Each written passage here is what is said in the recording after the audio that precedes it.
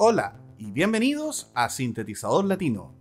En primer lugar, agradecerte por revisar este video y contarte que en este capítulo vamos a conversar y profundizar con respecto al MIDI. En eh, algunos capítulos anteriores conversé acerca del MIDI, mostré algunas interfaces, pero me pareció que había sido insuficiente. Entonces, en este capítulo voy a intentar profundizar con respecto al MIDI. Para este capítulo entonces me voy a acompañar con este Korg R3, que es un sintetizador que posee una interfaz física MIDI. Y eso es importante destacarlo, que eh, el MIDI existe en dos dimensiones. Una dimensión que es lógica, que tiene que ver con el software, eh, con la programación del el MIDI, y otra capa que es la capa física, que tiene que ver con los cables y con la interfaz MIDI. En el panel posterior de este sintetizador vamos a encontrar esta interfaz y que posee 13 conectores o tres terminales. Tiene el MIDI in, el MIDI out y el MIDI through. ¿Por qué tiene estas tres eh, terminales? Porque este sintetizador es capaz de recibir información MIDI, enviar información MIDI y retransmitir información MIDI. Por el MIDI in va a recibir la información, podríamos enviar información desde un secuenciador, desde otra máquina, da exactamente lo mismo. Por eso te señalaba anteriormente que el MIDI tiene dos dimensiones, una que tiene que ver con el software, con las aplicaciones, con la programación, y otro que tiene que ver con el eh, dispositivo físico, como por ejemplo el de este sintetizador. Entonces, el MIDI nos va a permitir controlar este sintetizador. ¿Qué tipo de parámetros podríamos controlar? Podríamos controlar, por ejemplo, el tempo de un arpegiador. O la altura, la duración de un sonido, los parámetros, etc. Entonces, el MIDI in nos va a permitir ingresar información a este sintetizador. El MIDI out va a servir para poder controlar un software o otro sintetizador, una caja de ritmo, enviar la información eh, no en audio. Eso es algo importante de señalar. Mucha gente no sabe que el MIDI no es audio. Evidentemente suena, pero no es una información en audio codificada en WAVE o AIF. Y luego vamos a tener el MIDI through. Y el MIDI through es una de las características que a mí personalmente más me gusta, que tiene que ver con la retransmisión de la información que recibió desde el IN. Es decir, es controlado el sintetizador y puede reenviar la información. Y ahí va a venir algo muy interesante que tiene que ver con los canales MIDI. Entonces, haciendo un resumen, cuando queremos controlar un sintetizador o una caja de ritmo, debemos conectar en el MIDI in. Cuando queremos que un sintetizador o una caja de ritmo controlen un sintetizador, un software, un DAW, Ableton, Fruity Loops, desde el out. Y cuando queremos retransmitir la información que ha llegado al sintetizador para controlar, por ejemplo, otro sintetizador desde el MIDI through. Algo importante de señalar es que el MIDI es un protocolo de comunicación entre instrumentos musicales electrónicos. Es una interfaz digital para instrumentos musicales electrónicos.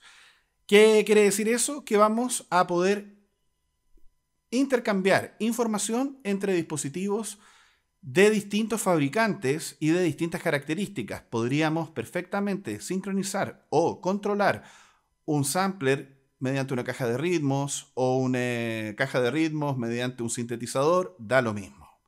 Entonces nos va a permitir intercambiar información bidireccionalmente entre dispositivos electrónicos.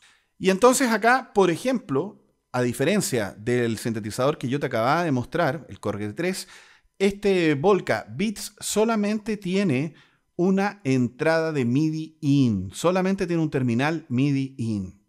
Por lo tanto, solamente puede ser controlado. Eso es importante al momento de comprar un dispositivo, un sintetizador, una caja de ritmo, un sampler, lo que sea.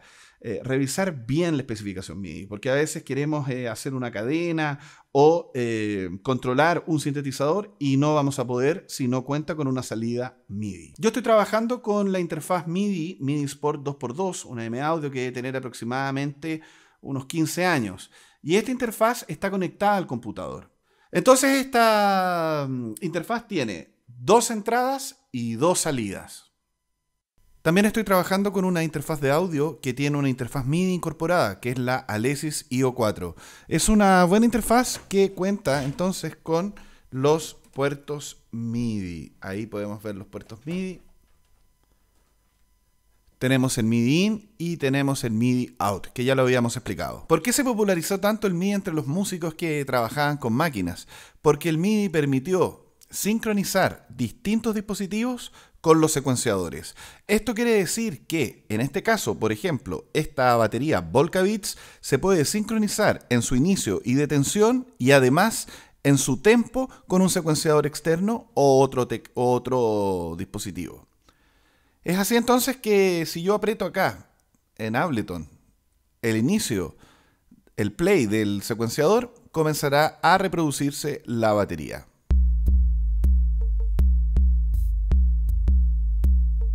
Al apretar stop, esta también se detiene.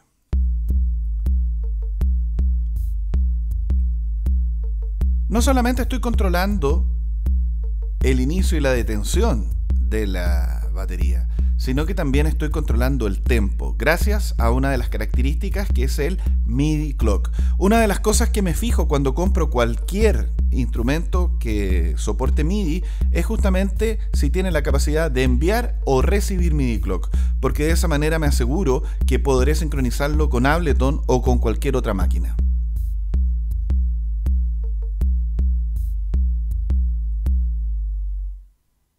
Ya en Ableton tengo dos pistas, dos pistas MIDI que he construido, he compuesto en un piano roll, un típico piano roll que vas a encontrar en Fruity Loops, lo vas a encontrar en Reason, etc. Lo importante acá es que cada una de estas pistas las voy a enviar por un canal y por una interfaz diferente de MIDI. Esta pista debe ser ejecutada por el Korg R3 y saldrá por la Alesis IO4 por el canal número 3. Por el otro lado, esta pista controlará al Roland JX03 a través de la MIDI Sport, la interfaz MIDI, por el puerto A y por el canal número 2. ¿Por qué es importante el canal? Porque en MIDI vas a tener hasta 16 canales y en esos canales va a transitar la información.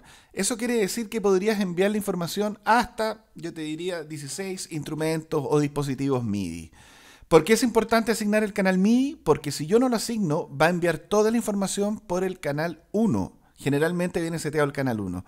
Entonces a sonar, va a sonar la misma pista o una, una cacofonía en los distintos instrumentos. Funciona muy parecido a lo que es una multipista. Entonces, por cada canal que yo cree para tener un bajo, una batería, cualquier sonido que quiera enviar a un sintetizador, voy a tener que asignarle un canal. Voy a ejecutar la pista número 1 que tiene asignado al Korg y también va a dispararse la batería electrónica de la Volca Beats.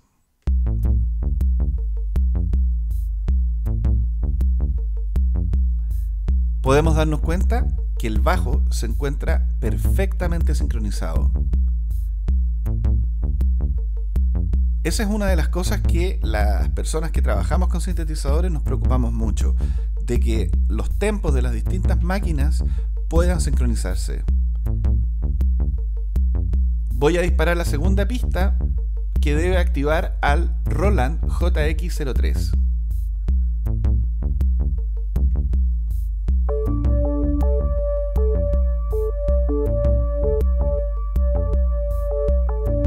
Todas las pistas se están ejecutando con un mismo tempo MIDI, pero cada instrumento está haciendo algo diferente. ¿Por qué? Porque estoy trabajando por canales.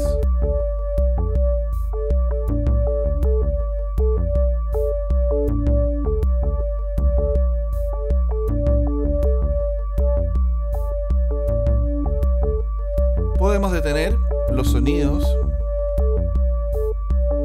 y los otros seguirán funcionando. Funciona como una multipista, pero una multipista MIDI.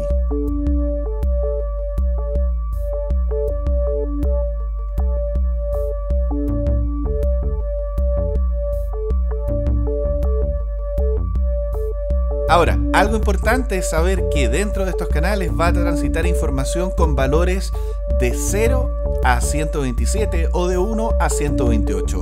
Por ejemplo, las notas musicales, la nota más grave y la nota más aguda transitarán en valores de 0 a 127 o de 1 a 128. Lo mismo el volumen, la, ausencia de sonido será el 0 y el, volumen máximo o amplitud máxima será en 127.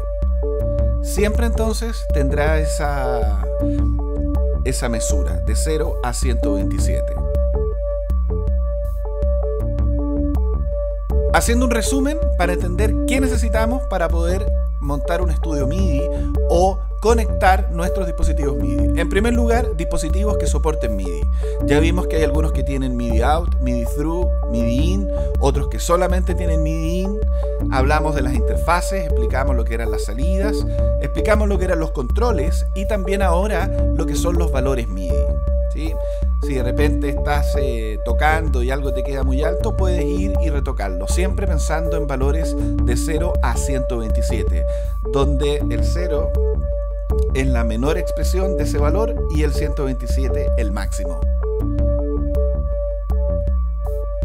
Te quiero dar las gracias por revisar este video, te invito a suscribir y nos vemos en el próximo capítulo de Sintetizador Latino.